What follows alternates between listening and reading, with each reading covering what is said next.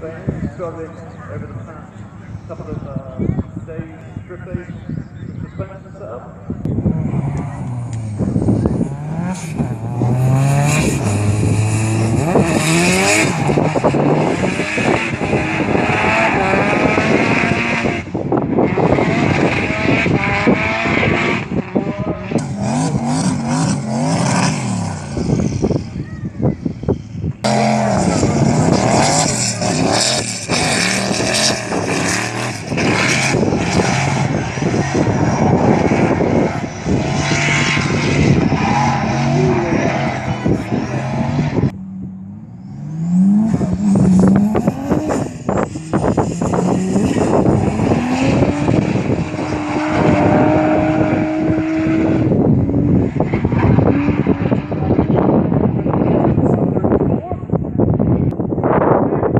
Thank you.